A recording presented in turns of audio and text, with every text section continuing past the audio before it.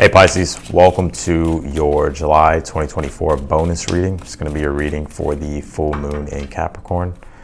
We're just going to go ahead and get started and jump straight in. I hope you're all doing well. Now, this full moon is of today when I'm uploading this video on the 21st.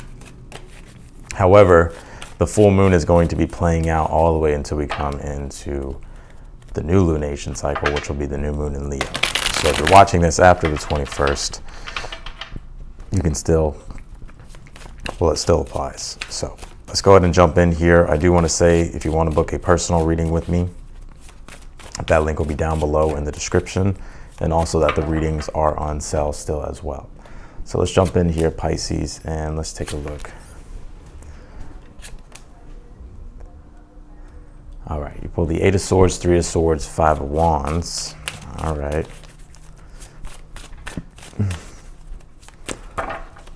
Take a look here. Future position, you did pull the Page of Pentacles. Okay. I like, I like that being in the future.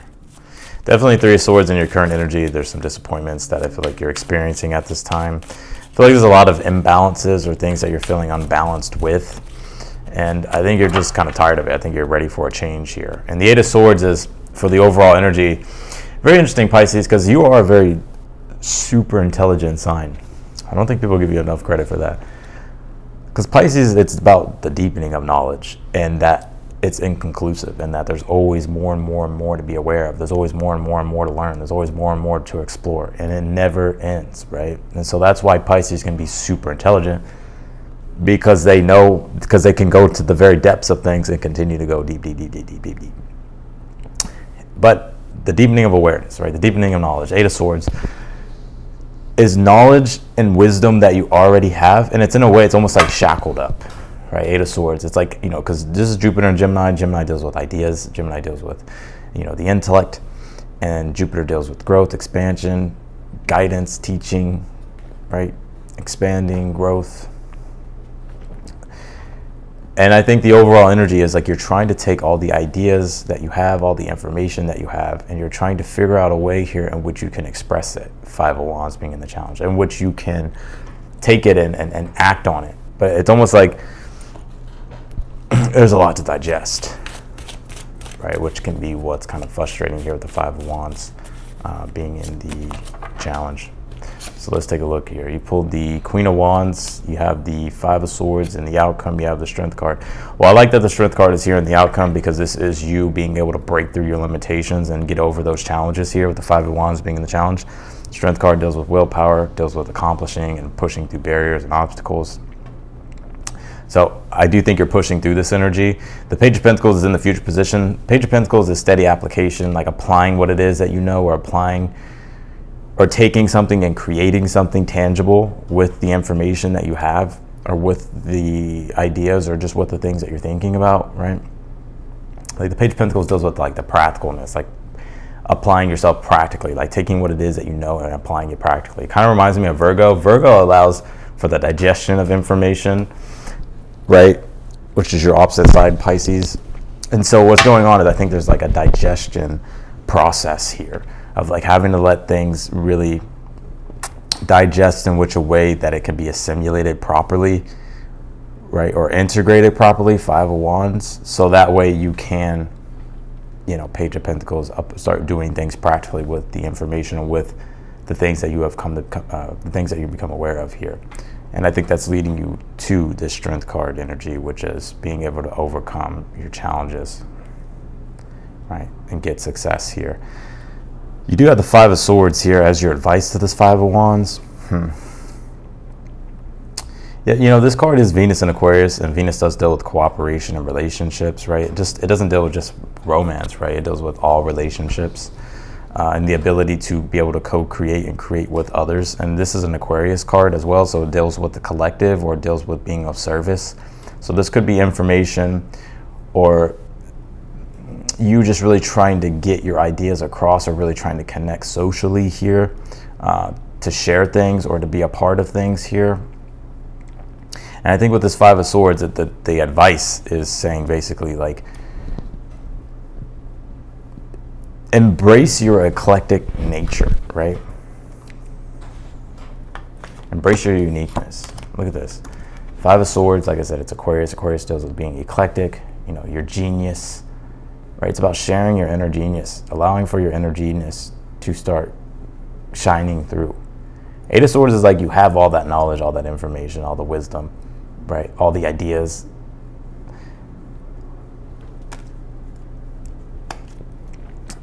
And I think the universe is like wanting you to tap into your inner genius. Even if, if, if even if even if you feel like it's weird, right? Even if you feel like it's weird. Page of Pentacles is saying like share it anyway or to do, do to do it anyways.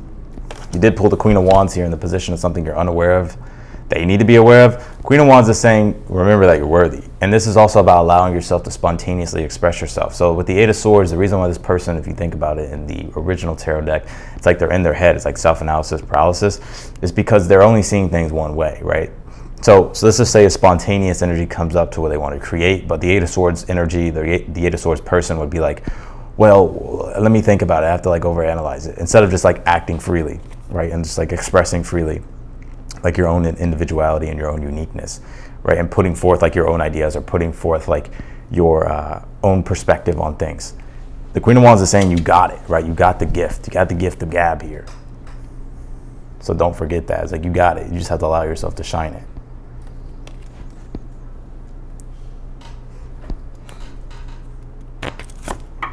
You pull this Guardian card. It says guard your energy here.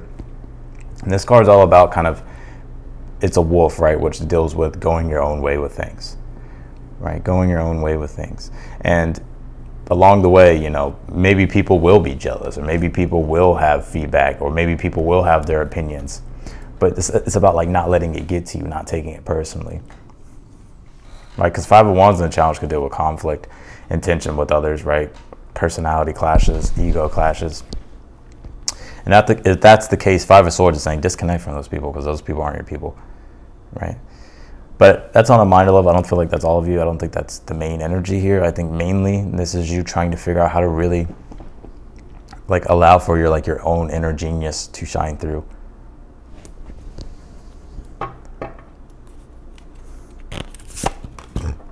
To pull this cloud card, says imagination.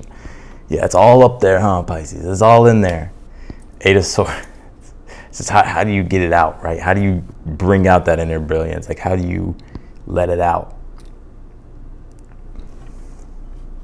But also, this card being imagination is about, you know, your imagination. Like, that, especially you, Pisces, because you rule the imagination. Like, the, that creative, potent energy of ideals that you can really see it's about allowing for it to shine through, like letting that come out. Because you could be seeing things different than other people are seeing it. But maybe you're not trusting what you're seeing, or maybe you're kind of doubting what you're seeing. Eight of Swords. This is about no, your, your intuition's right. You're, you're, you're seeing things right here.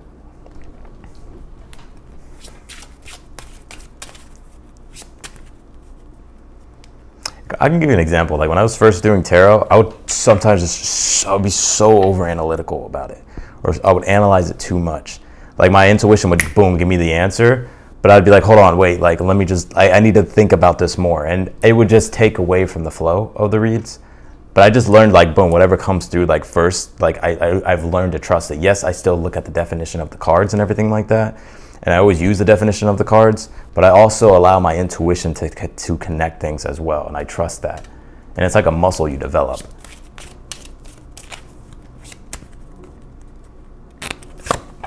you pull this time to move on, flow with the river, see where it takes you here. I think the changes that you're wanting to make at this time, that three of swords being in your current energy, is like you're realizing, yeah, like, you know, this is, I want to do something different, right? Um, and so the, data swords is like, well, I want to do something different, but I just don't know. I have so many ideas, or I have so many ways, or I have so many things I'm, you know, that I'm trying to figure out, or that I that I know I want, but I'm trying to figure out what to do next the universe is saying just try one of them, right? Eight of Swords is like try one of them, right? Try one of them, right? And Five of Swords is saying, you know, don't be afraid to be eclectic, be unique, open up your values to creating other things.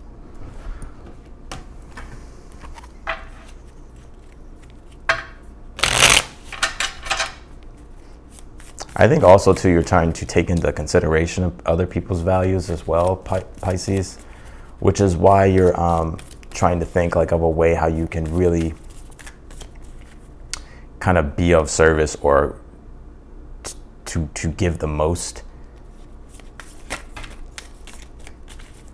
Clarify the Eight of Swords for the overall energy. You pull this Angel card. It says compassion. So you know, don't be too hard on yourself, right? Eight of Swords. Don't be too hard on yourself. You know, especially with that Three of Swords. Let's clarify that the lion temperament card. Yeah, and this could be to where it's like maybe you're feeling like a failure or maybe you're feeling just just like you want to give up or that nothing's working.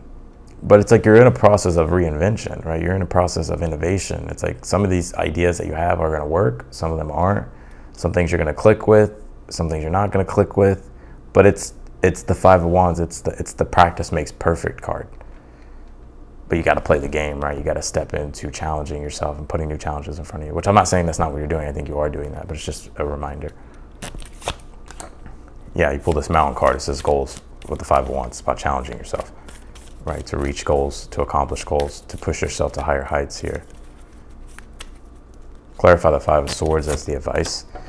You have this key card. It says reveal. It's, it's like the advice. The key is like your own unique, eclectic ideals and allowing for yourself to experiment, seek innovations, reinvention, clarify the Page of Pentacles in the future. You have Ocean Release and you have this pomegranate card that says Prosperity here. So again, Page of Pentacles also too, because to where you could be receiving something, some form of a manifestation tangibly from the hard work you've been putting in or from you taking the initiative right? And that's this pomegranate card. So you could be seeing your rewards here, the first results of these rewards um, through you experimenting or challenging yourself or doing something different. You could be finding something works here. But I'm also seeing you release here what you're creating and you believing in the value of it here as well, because I think it does have value. Clarify the strength card and the outcome. You have this butterfly card transformation, then boom. It's like you're letting out your inner tiger right here in this strength card.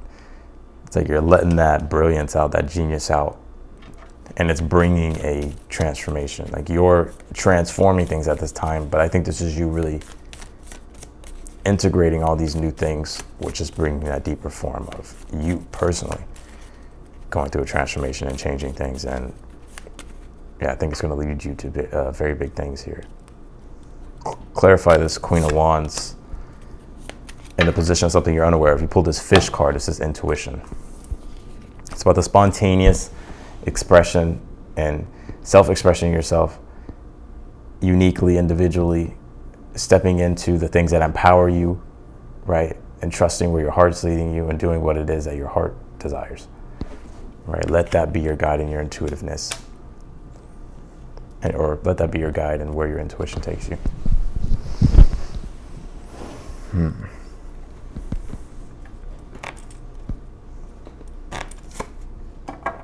yeah, this Between Worlds card says New Directions. So yeah, I think you're definitely opening up to new worlds here, wanting to explore new worlds. And this is about kind of being caught in between the, both worlds to where it's like hmm, you can feel a little bit lost or just feeling the pressure of like, all right, fuck, I'm in two places and I gotta fucking figure out which one I'm going to. But you gotta do what's right for you pull this Jasmine card. It says sensuality. This is about pleasure, the creative process, right? The creative process, the imagination, what you're desiring, what your your imagination and what your ideals are. And the Jasmine card is about bringing those down into reality, creating those things, because that's going to bring pleasure, that sensual energy. Doing what it is that you like and you enjoy.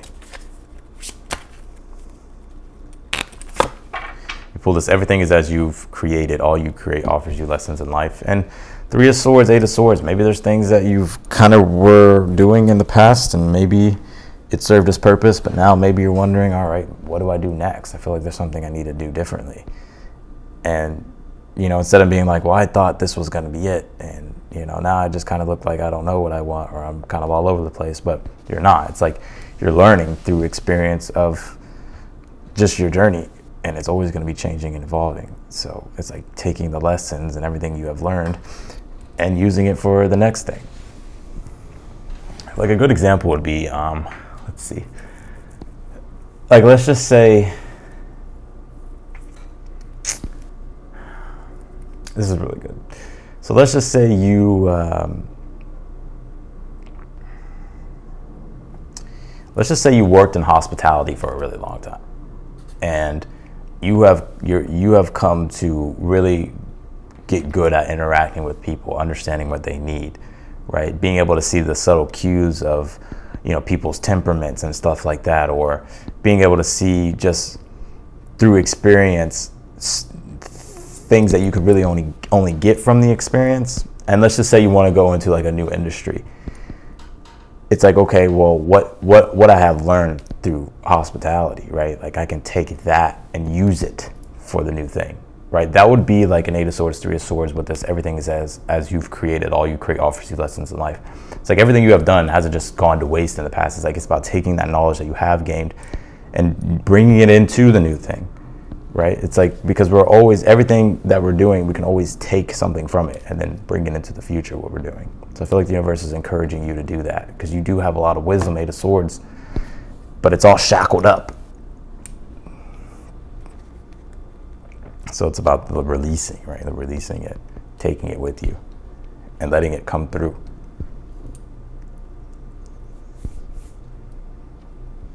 So that's what I got for you, Pisces, and your. I was about to call you Aquarius. Some of you may have Aquarius in your chart.